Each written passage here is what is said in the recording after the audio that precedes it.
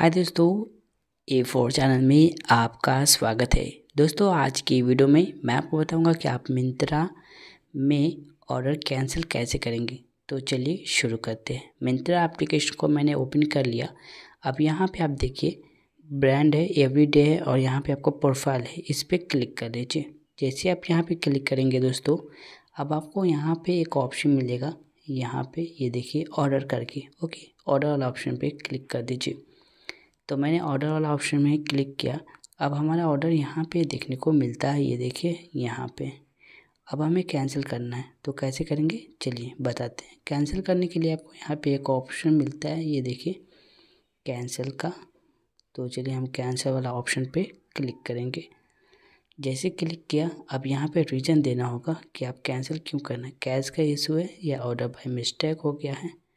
तो हमें कोई सा भी तो ऑर्डर बाय मिस्टेक वाला ऑप्शन पे क्लिक कर दीजिए और उसके बाद कैंसिल वाला एरो दिख रहा है और कैंसिल लिखा हुआ है, इसी पे आपको क्लिक करना है। अब ये देखिए क्या ऑर्डर कैंसिल हो जाएगा। उसके बाद यहाँ पे डन वाला ऑप्शन पे क्लिक कर दीजिए।